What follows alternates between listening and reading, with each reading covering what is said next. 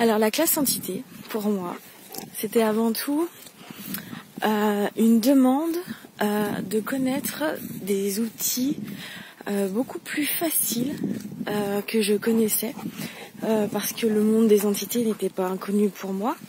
Ça fait quelques années, on va dire que je communique avec certaines entités, et en fait, en faisant cette classe, j'ai appris à connaître de nouvelles formes d'entités et d'y inclure euh, euh, les vivants, on va dire, puisque tout est entité. Et euh, ça m'a facilité ma communication, en l'occurrence avec les animaux.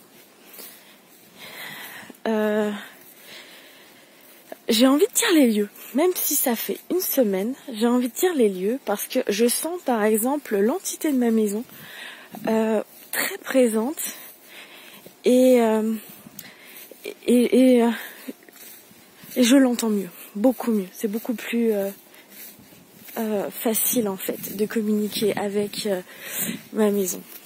Ma maison est très importante pour moi.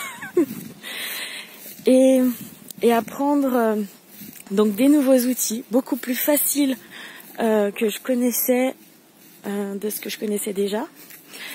Et, euh, et du coup, eh ben, vous pouvez avoir déjà mis en pratique. Waouh, je regrette absolument pas. même ma relation avec les animaux a été est plus légère, je trouve. Je capte plus facilement euh, ce que euh, euh, je me rends compte avec mon chien. En fait, je, pense qu'on s'est un petit peu éloigné et depuis cette classe, eh ben il y a quelque chose que je perçois chez lui que je ne percevais pas avant. Et du coup, ben là, je suis en balade avec lui. Et j'ai entendu son appel de promenade. Et voilà. Que dire d'autre sur la classe entité euh,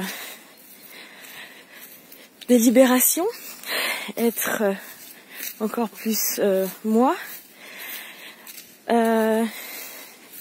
et puis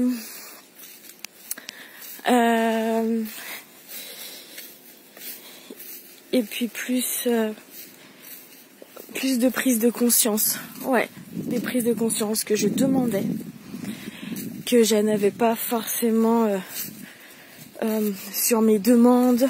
Je ne les entendais pas et en fait avec euh, certains des outils j'ai pu les avoir, ces prises de conscience. Et,